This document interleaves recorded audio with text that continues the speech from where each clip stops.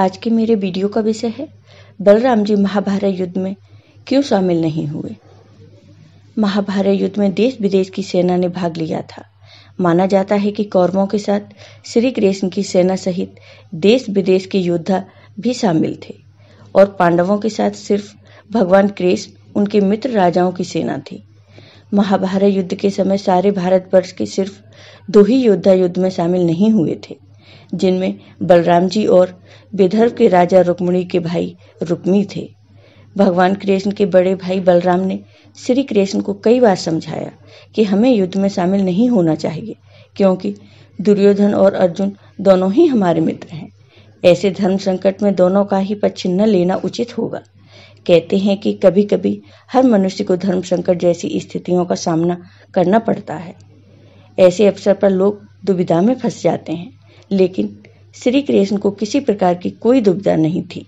उन्होंने इस समस्या का भी हल निकाल लिया था। भगवान कृष्ण ने दुर्योधन से कह दिया था कि तुम मुझमें और मेरी सेना में से किसी एक का चयन कर लो।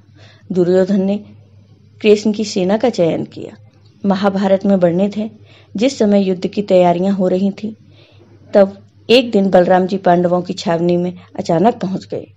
दाऊ भैया को आता देख श्री कृष्ण युधिष्ठिर सहित सब बहुत प्रसन्न हुए। सभी ने उनका आदर किया।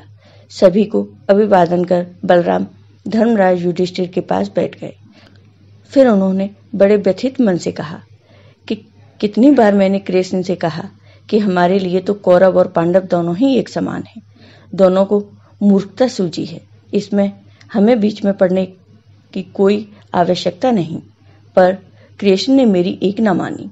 कृष्ण को अर्जुन के प्रति स्नेह इतना ज़्यादा है कि वो कौरव के विपक्ष में है। अब जिस तरफ़ कृष्ण हो, उसके विपक्ष में कैसे जाऊँ? भीम और दुर्योधन दोनों ने ही मुझसे गदा सीखी है। दोनों ही मेरे शिष्य हैं। दोनों पर मेरा एक जैसा स्नेह है। इन दोनों कुरुवंशियों को आपस में लड़ता देखकर मुझे अच्छा नहीं लगता।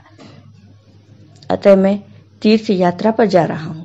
आपको ये वीडियो पसंद आया हो तो लाइक कीजिए, शेयर कीजिए और मेरे चैनल को सब्सक्राइब कीजिए। साथ ही बेल आइकॉन पर क्लिक ज़रूर कीजिए, जिससे हमारे वीडियो के नोटिफिकेशन आपको मिलते रहें। धन्यवाद।